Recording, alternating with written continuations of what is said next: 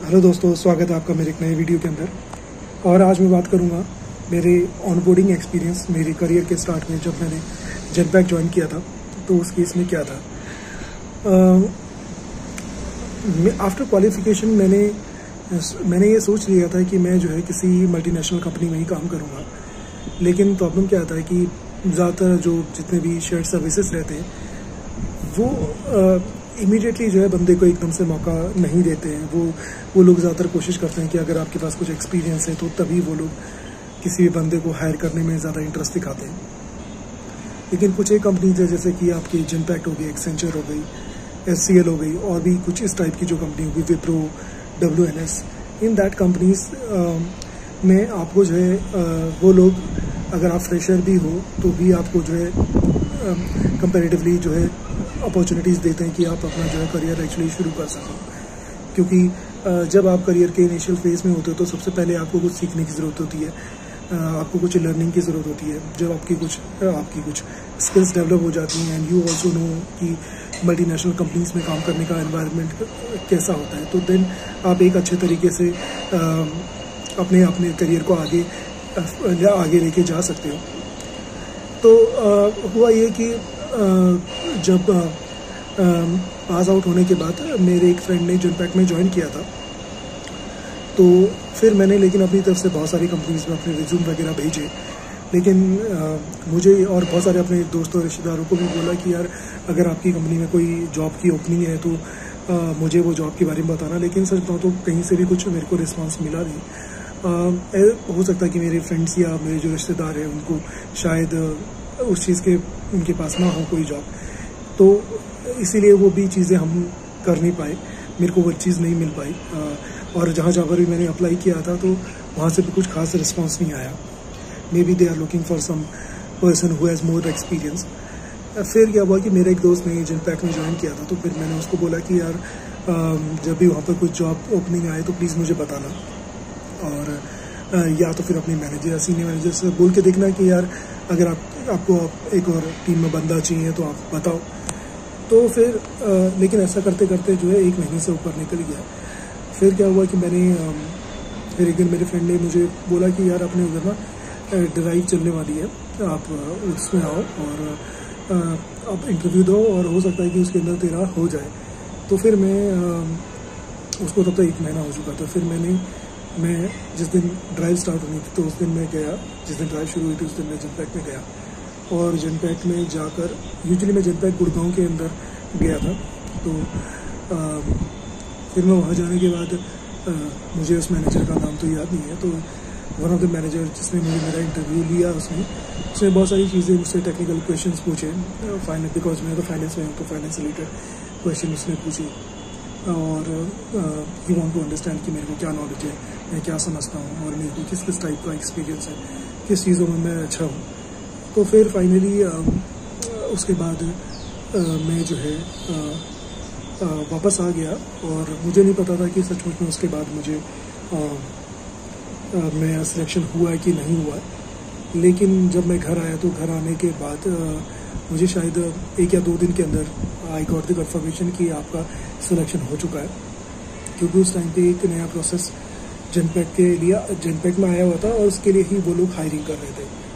तो फिर आ, फिर they have given a date और उसके बीच में वो लोग ये भी बोलते हैं कि आप मेरा पासपोर्ट वगैरह बनवा लो। तो मैंने अपने पासपोर्ट के लिए भी अप्लाई कर दिया था और जिसका मुझे काफ़ी ज़्यादा कॉस्ट भुगतना पड़ा ऑलमोस्ट टेन थाउज़ेंड के आसपास में।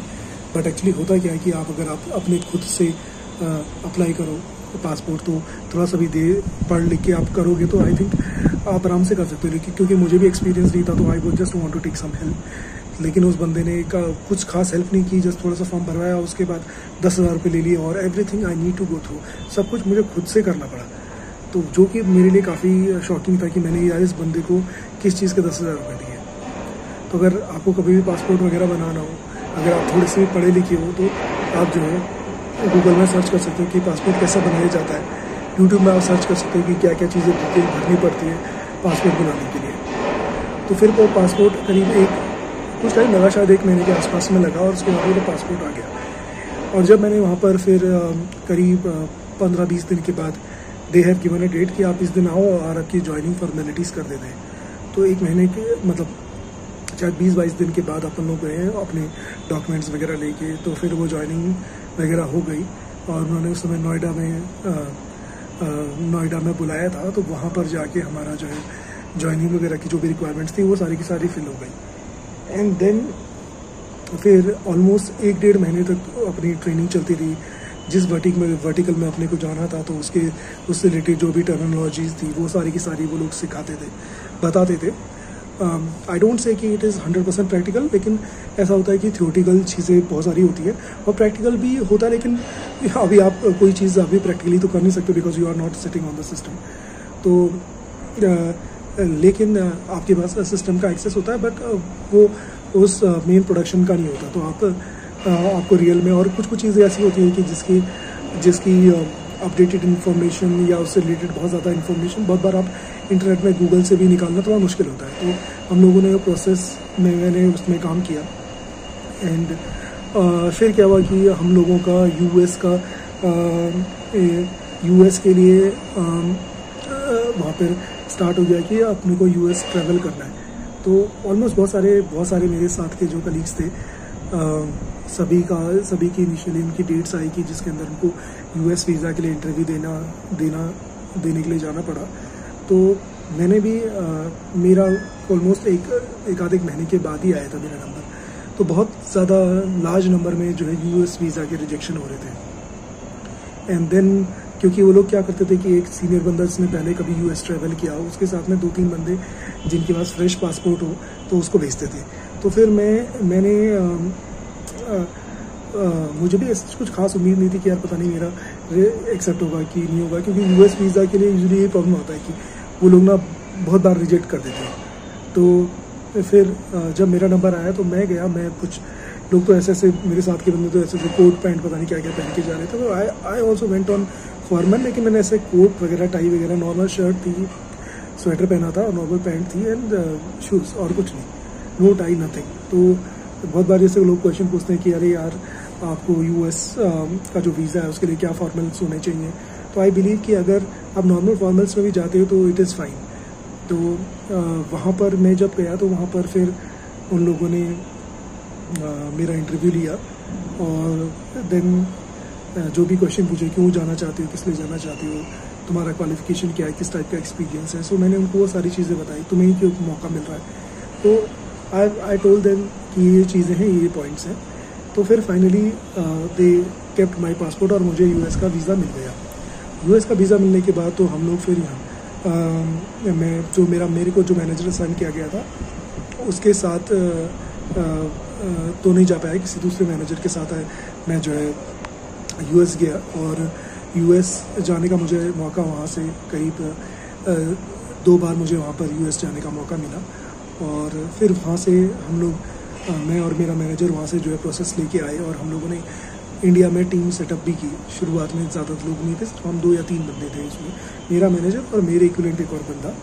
और आई डोंट नो कि वो अभी भी मेरे साथ वाला बंदा अभी भी उसी प्रोसेस में काम कर रहा है कि नहीं कर रहा वो मुझे पता नहीं लेकिन मुझे लगता है कि शायद वो अभी भी वही काम करता है। तो फिर वहाँ से जब आने के पूरी टीम सेटअप की तो it was a fun experience learning from the onshore partners जो यूएस uh, में बैठे हुए थे वो भी काफ़ी सपोर्टिव थे। जो यहाँ पर भी जो इंडिया में जो टीम थी वो काफ़ी सपोर्टिव थी। जितना वो आपको ट्रेनिंग दे सकते थे उन्होंने आपको आपको ट्रेन भी किया। और हम लोगों ने भी अच्छा परफॉर्म किया मैंने अच्छा परफॉर्म किया जिसके लिए मुझे उस समय पर अवार्ड भी उन्होंने उन्होंने मुझे अवार्ड भी उस चीज़ के लिए दिया। सो so, अगर ओवरऑल मैं अपना एक्सपीरियंस कहूँ जिन के साथ तो मेरा एक्सपीरियंस काफ़ी अच्छा रहा। There is lots of opportunities there is lots of learning हाँ definitely in terms of pay packages अब क्योंकि वो थर्ड पार्टी कंपनी है तो मुझे नहीं लगता कि वो उतना पैसा देते हैं ठीक है। लेकिन समटाइम पैसा इतना इम्पोर्टेंट नहीं करता समटाइम ये भी इम्पोर्टेंट हो जाता है कि आपको कोई कंपनी आपको एक मौका दे। ठीक है, अगर बहुत सारे लोग बोलते हैं कि अरे यार इतना कुछ नहीं सिखाते, ये नहीं सिखाते सो आई डोंट थिंक सो कि नेगेटिव में कुछ कुछ नहीं रखा हुआ। मुझे, मेरा तो एक्सपीरियंस ये है कि काफ़ी ज़्यादा सिस्टमेटिकली हम लोगों ने वहाँ पर काम सीखा और जिसकी वजह से मैं मैं, मैंने अपने करियर में अच्छा ग्रोथ किया है।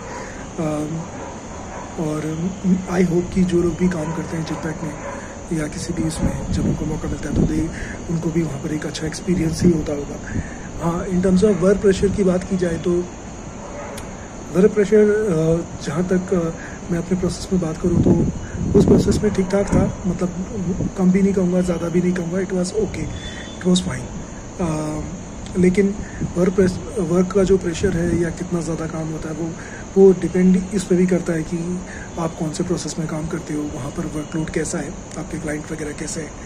सो इन दैट सेंस क्योंकि मैं ये नहीं कह सकता अरे कम काम होता है या उधर कम ज़्यादा काम होता है, क्योंकि हो सकता है ना किसी जगह, किसी के पास बहुत ज़्यादा काम हो, किसी के पास बहुत कम काम हो तो वो प्रोसेस टू प्रोसेस डिपेंड करता है। But overall my experience with Genpact was good a great learning experience उस समय भी जो लोग सीनियर लेवल पे बैठे हुए थे वहाँ पर।